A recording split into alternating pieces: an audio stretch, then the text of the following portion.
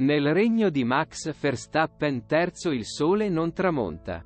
Nemmeno nella notte Catarius. L'olandese volante, seduto nella sua fedele Red Bull, ha dovuto aspettare il tredicesimo round della gara di sprint vinto dal talentuoso pilota McLaren. Oscar Plastri per avere la certezza matematica del restante campione del mondo. Per il terzo anno consecutivo. Aveva bisogno tre punti. Ha portato via il pensiero in seguirli il suo compagno squadra Sergio Perez. Che è finito nella ghiaia in uno scioccante con gli As Nico Welkenberg e l'alpino Esteban Ocon. Finalmente. Campione. Mad Max. Tuttavia, non sono stati soddisfatti. Ha combattuto per salire sul podio. Fino a quando non si siede sul secondo passo. Ma solo per mancanza di chilometri.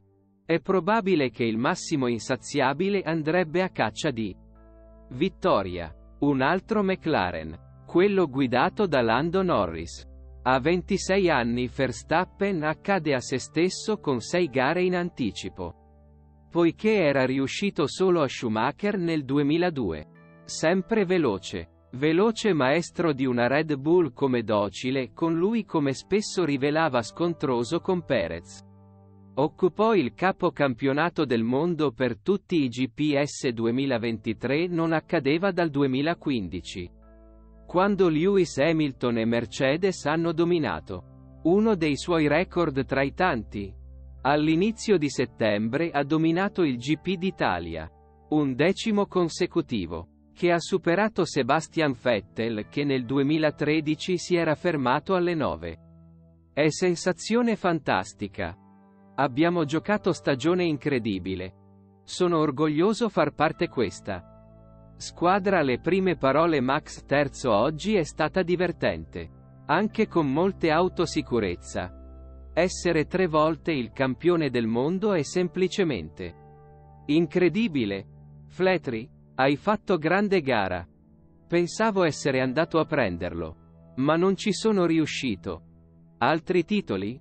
Ora mi piace il momento. È stata gara stressante, ha commentato. Abbiamo fatto un ottimo lavoro. Niente né curve di filatura intervallate da tre auto di sicurezza, vivevano in anonimato da Ferrari. Sesto e settimo al traguardo con Carlos Sainz Charles Leclerc. Il Monegasque è stato quindi penalizzato da 5-4 violazioni limite traccia. Precipitando al tredicesimo posto.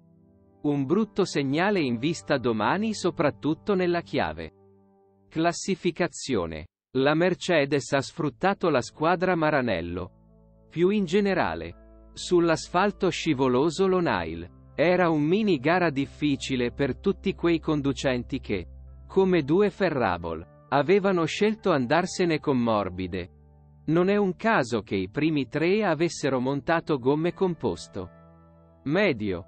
In T-stop vai costretti alle uscite della pista davanti Lawson. Poi Sargent infine Perez dei suoi compagni. Morbide hanno perso rapidamente l'efficienza. Ha fatto i costi.